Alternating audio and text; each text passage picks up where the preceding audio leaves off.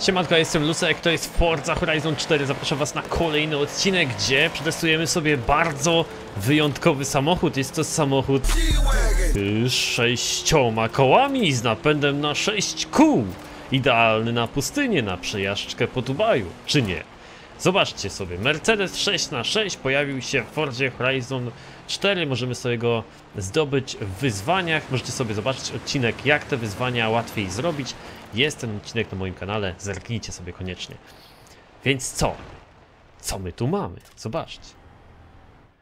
Bardzo fajnie, że się pojawił. To jest Dubsta 6x6 z GTA Online, czy nie? Trochę tak. Jak on jeździ? No powiem wam, że prowadzi się jak ciężarówka. Testowaliście go już, czy nie? Spróbowałbym zrobić go na drift.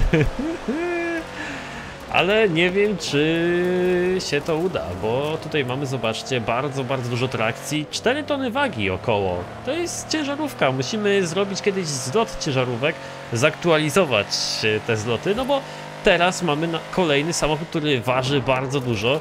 Trakcji mamy tu sporo, tak? No, ciężko jest spalić kapcia, ruszając nawet z szutru na standardowych ustawieniach, ustawieniach ale spokojnie tym też się zaraz zajmiemy. Mamy tutaj kilka fajnych opcji tuningowych, które będzie trzeba sobie sprawdzić. Czy osiągniemy nim 400 km na godzinę? No jak się pewnie domyślacie, przy tej wspaniałej aerodynamice samochód jest tak niski i ma tak niski prześwit, że raczej ciężko będzie tutaj cokolwiek osiągnąć. Koło 300 może, no nie no, 300 może poleci, ale 400 będzie bardzo ciężko. Taka ciekawostka, jeśli e, prawdopodobnie w, w przyszłości zostanie to naprawione, ale zobaczcie co się dzieje z przednim zawie zawieszeniem. Tam coś jest nie tak z amortyzatorem i chyba z końcówką stabilizatora albo coś, to tam lata w powietrzu, widzicie? Nawet przez przedni zderzak trochę wystaje. Tutaj, widzicie to chyba, nie? Jakby o co chodzi? Nie wiem. I tam też widzę, że ten e, amortyzator w sprężynie gdzieś tam na boki się porusza. Coś jest nie tak z tym zawieszeniem w tym samochodzie, naprawdę. Tam coś skacze, o co chodzi? Natomiast ogólnie zawieszenie wykonane jest bardzo fajnie. Zobaczcie, jak z tyłu wszystko ładnie pracuje. Mamy tam sobie zawieszenie, które nie wiem, tam jest chyba wał napędowy, no bo wszystkie koła są napędzane, tylko ten wał jest bardzo dziwny chyba. A nie, jest, jest dyferencjał, jest, tylko chyba z tej strony będzie go lepiej widać. Coś tam jest, no, coś tam się... Tylko nie widać, żeby się obracał, no nie? No już nie wymagajmy tego od tej gry, to, jest, to nie jest Spin Tires ani BeamNG Drive, nie? Ta, tam się nic nie obraca niestety. Dobrze, chociaż to wszystko ładnie pracuje. My sobie spróbujemy zrobić ten samochód na offroad. On już jest offroadowy, ale wydaje mi się, że zawieszenie jest w nim dosyć twardo ustawione. Zaraz sobie to sprawdzimy. Zobaczymy jakie ma opcje tuningowe, wszystko sobie obadamy, nie? Zrobimy jakiś hardkorowy tuning, zobaczymy czy da sobie radę z pociągiem. Takie mam pomysły z nim, no nie wiem. Jest ogromny, zobaczcie, on ledwo co się mieści na tym podejście tutaj. I ta kamera nie ogarnie prawie, że tego samochodu całego. Nie da rady go zmieścić w całym kadrze. No ale patrzcie co my tu mamy. Cyk, możemy sobie... Jezu, okropnie to wygląda, co? Co o tym myślicie? Strasznie. Wygląda jak jakaś amfibia czy coś takiego. Ja tego nie instaluję. Zdecydowanie lepiej, groźniej wygląda bez tego zderzaka. Nie wiem co to jest. Możemy zainstalować spoiler. Takie coś z tyłu. Czy was to kręci? Takie zapasowe koło możemy tutaj wrąbać. A nawet dwa zapasowe koła. Tutaj patrzę, to są wydechy? Chyba nie. Co to jest? Może to jest jakiś dolot albo... Ja się na tym nie znam. No, ale tak to, to możemy sobie zainstalować, jak ktoś chce. Ja jestem wobec tego bardzo obojętny. Możemy zmienić sobie silnik na Racing V8, czyli na ten najbardziej hardkorowy silnik, który jest dostępny w grze. Ten standardowy nie brzmi jakoś cudownie, więc możemy sobie wymienić. No i, e, no i tyle. I teraz tak, szerokość opon możemy sobie zwiększyć. Cyk. Możemy wymienić felgi, jeśli by ktoś chciał, możemy zwiększyć wielkość felg, ale nie możemy dać dystans, tak? Możemy dać sobie jakieś takie driftowe, no... Felgi jak felgi, możemy sobie dać takie, jakie nam się podobają i nie podobają, tak? Ja mogę sobie dać takie, minus 56 kg, także sporo. Możemy zwiększyć cal, jeśli by ktoś chciał. To, to jest w ogóle jakiś hardkorowy samochód, ja pierniczę, jakie to jest wielkie. Nie wiem, czy chciałbym czymś takim pojeździć nawet, no ale... Dobra, pyk. Teraz tak, już mamy klasę S1 i zobaczcie, mamy tutaj rajdowe zawieszenie. Możemy w nim zainstalować jakieś tam inne niż jest w standardzie. Nie wiem co się w zasadzie zmienia, bo pewnie są jakieś tam inne ustawienia po prostu. E, ale damy sobie to rajdowe, żeby właśnie można było je ustawiać, nie? E, możemy samochód też odciążyć, możemy zainstalować klatkę bezpieczeństwa, która instaluje się gdzieś tutaj w środku, nawet chyba coś tam widać, nie, że się pojawia po prostu. Tak, coś tam się pojawia w środku. Dodaje nam to 180 kg, ale samochód możemy odciążyć minus tona, słuchajcie, tona mniej. Możemy odciążyć o jedną całą tonę. To jest, to sporo. Jest naprawdę bardzo dużo jak na ten samochód. I zobaczcie, może uda się go wymaksować w klasie S1 nawet. Trakcji będzie miał naprawdę bardzo dużo. Mocy też będzie miał sporo z tego co widzę. Tutaj na... O kurde, ej patrzcie, on waży teraz niecałe 3 tony, także, także całkiem ładnie. Już mamy 1000 kW, czyli gdzieś koło... Zaraz zobaczymy dokładnie parametry, jak sobie zapiszemy setup. Więc tak, niecałe 3000 kg wagi, wymaksowany samochód, 1011 kW, czyli gdzieś około 1350 koni mechanicznych. Totalna różnica, nie? Jak ten samochód będzie teraz jeździł, nie mam pojęcia. Jeszcze go nie tuningowałem, nie sprawdzałem na co go stać. Możemy sobie go jeszcze pomalować na jakiś tam inny kolor. E, jest to taki dosyć rzadki wóz, nie? Mało się gdzieś tam go widzi w, po, gdzieś tam na socjalach, na Instagramach i tak dalej. Mm, e, także nie wiem w ilu on kopiach występuje. Standardowe kolory możemy sobie wybrać. Mamy nawet, o kurde, jaki fajny kolorek. Biały. Ja sobie wybiorę ten, matowy. Możemy sobie przyciemnić szyby, cyk. I już mamy idealny wóz do wożenia prezydenta, czy nie? Pyk, zapisujemy, mamy całego czarnucha. Nie będzie go widać w ogóle, jak będę jechał w nocy. Bardzo duże auto. Nie wiem, czy można mówić w ogóle na to auto. Zaraz przetestujemy jego możliwości. Ma ogromny prześwit i chyba będzie to jedno z lepszych aut off-roadowych, z tych takich ciężarówek oczywiście. Jezu! Ale dzik! I tak no, będzie brzmiało jak te wszystkie samochody, w którym zrobimy słapa na tą 7-litrową V8, prawda? Ale ten samochód waży naprawdę dużo. To jest taki Hammer, ile waży Hammer? Hammer też sporo waży, nie? I tam chyba nie może, on chyba nie był aż taki cudowny w prowadzeniu i w ogóle. Dyferencjał całkowicie zablokowany. Ja się nie dziwię, że ten samochód nie skręcał. To jest jakiś kosmos, co to za ustawienie w ogóle. I teraz ciekawa sprawa, jak y, tutaj z tym dyferencjałem, no bo my mamy dyferencjał z przodu, mamy dyferencjał po środku i mamy dyferencjał całkowicie z tyłu, nie? Jak go ustawić? Ja myślę, że tutaj zostało to jakoś scentralizowane, że, że ten dyferencjał powiedzmy na tył jest to po prostu te koła z tyłu i one są potraktowane jako jeden dyferencjał, tak? I jego sobie tam ustawiamy. No dziwnie to będzie wyglądać z perspektywy naszej. Napęd na wszystkie koła. to nie jest dobry pomysł, żeby tym driftować, naprawdę. To nam nigdy w życiu nie zerwie chyba.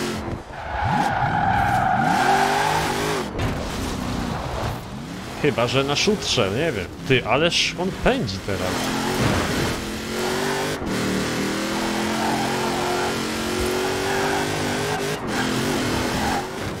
Jezus, jaki potwór.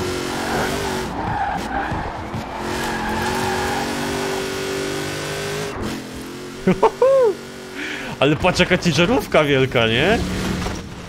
Jak to pędzi, ty! E, Hammer chyba nie był aż taki żwawy, jak go przetuningowałem, a ten ciśnie jak szalony. Chodźmy na jakieś offroady zobaczyć. Cyk. Ty, dobry jest.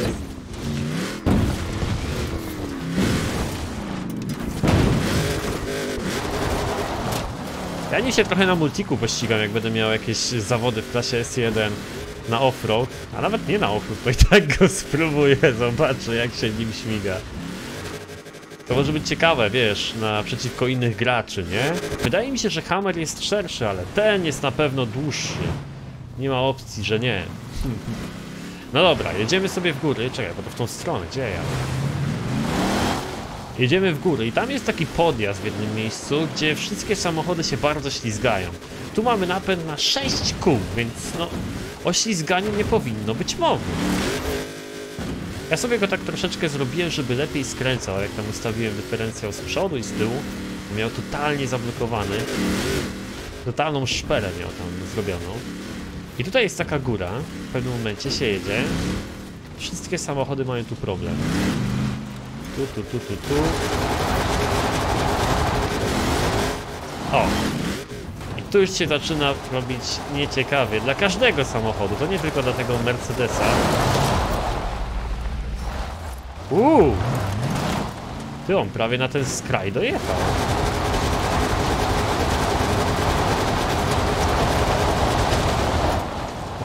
Tak, tu się wszystko ślizga. Możecie sobie tutaj przyjechać obojętnie czym, będziecie się ślizgać, a ten Mercedes jakoś sobie nawet tutaj radzi.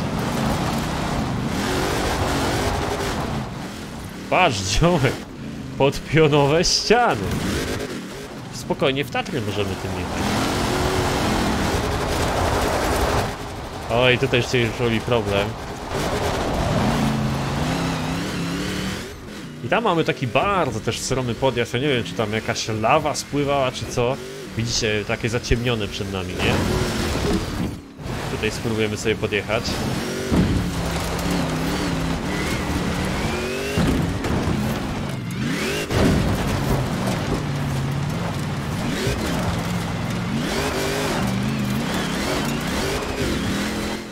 Bez problemu, człowieku, kurde, jak porównym.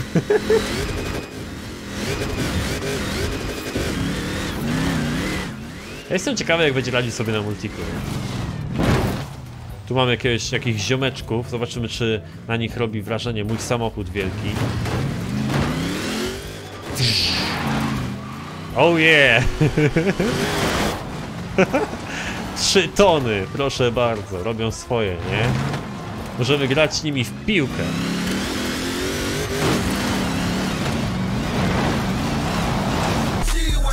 No i startujemy. Cross country, słuchajcie. Podejrzewam, że mój samochód nie będzie najszybszy, ale mamy pełny skład, zobaczcie. Pełny skład. Nie wiem, czy ktoś jeszcze jeździ tym Mercedesem, ale chyba nie. Ktoś się Lotusa Elisa GT1. Powodzenia, ziomy. Chyba, że go zrobił na jakiś offroad czy coś, nie wiem. Spróbujmy. Zobaczcie, jest tutaj e, ten, ten, ten Nissan chyba, Titan, nie? Zobaczcie, o ile ten Mercedes jest większy. Kurde, ogromny. Wow! Na razie tak się trzymam na równi z nimi. O, teraz na pewno nie shit. będę się trzymał na równi. Ole, jeśli chodzi o pokonywanie przeszkód, nierówności, to tutaj po dostosowaniu to auto radzi sobie zajebiście, ale przed dostosowaniem też było całkiem nieźle, więc tutaj jakby takiej dużej różnicy nie ma. Jest tylko ciężko z tym skręcaniem. O, wyrobiłem się. A wiecie co się teraz stanie, jak w bandę uderzysz, nie? Koniec z tobą.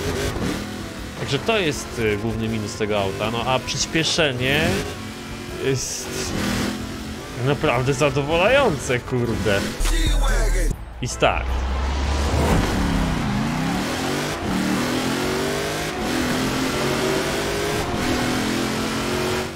Jeśli chodzi, zobaczcie, jeśli chodzi o przyspieszenie, to ja naprawdę się tutaj trzymam w tej czołówce, a statystyki nie są e, jakby wymaksowane w tym samochodzie i myślę, że tutaj sporo te statystyki zaniża właśnie prowadzenie.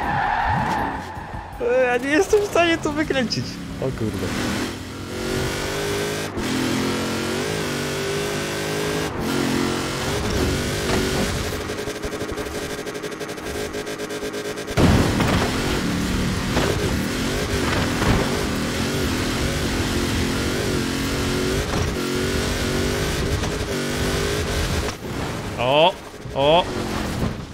Ty, ale... Wow! Jestem w szoku, że się nie wywalił na dach. Naprawdę.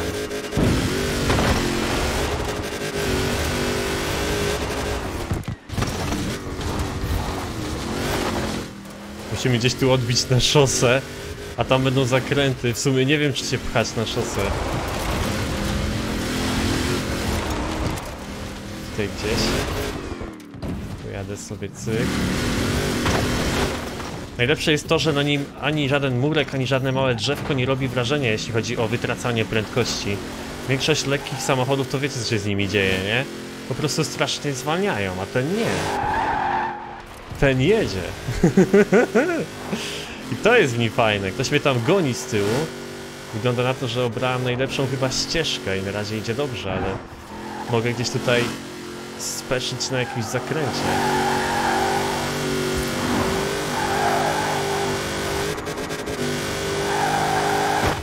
Zobacz, te murki nic na nim nie zrobiły wrażenia przed chwilą, co przejechałem, nie?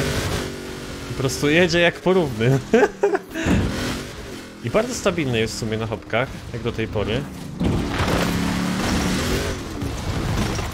Tylko trzeba uważać naprawdę przy skręcaniu. Cyk! Kurde, nawet go kamera nie złapała.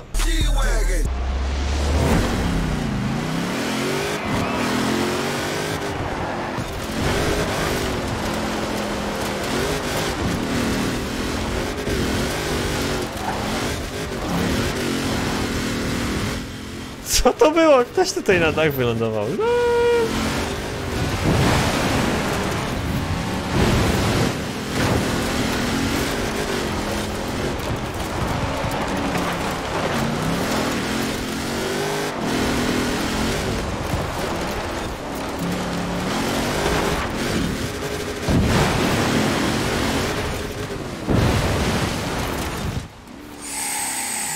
O fuck.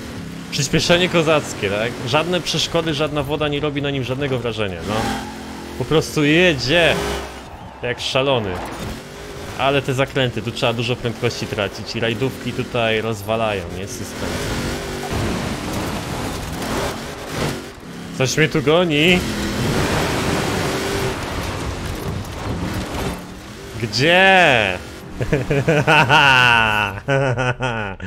oh yeah. Co? Przecież... E, co chodzi? What? Jakim cudem? Dobra, musimy sprawdzić jeszcze jedną rzecz. Bo wiecie jak to jest z tymi ciężkimi samochodami. One w dość specyficzny sposób reagują na pociąg. Nie wiem czy trafię na niego w ogóle, zobaczymy.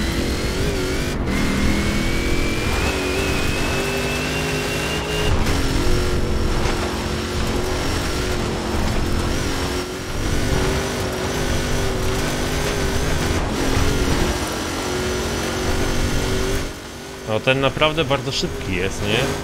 300 km na godzinę.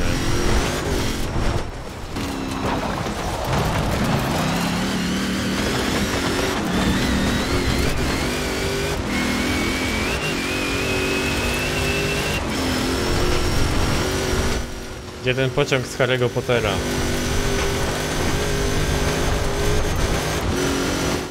I... O, naprawili to!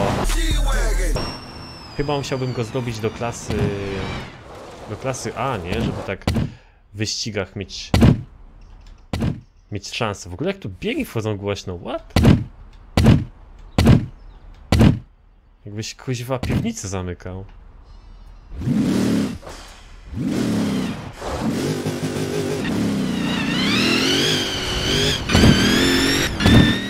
Nie, takie... Jezu. Byś kogoś łopatą po plerach walił. Z zewnątrz tak nie słychać.